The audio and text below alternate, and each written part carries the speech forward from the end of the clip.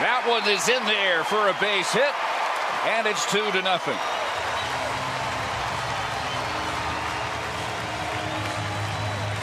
And four straight hits in the Rangers' sixth, greeting Hellickson. And, and, all of these hits have been hit well. It's not like they're dribblers through the infield or bloopers to the outfield. Every one of these balls has been hit well.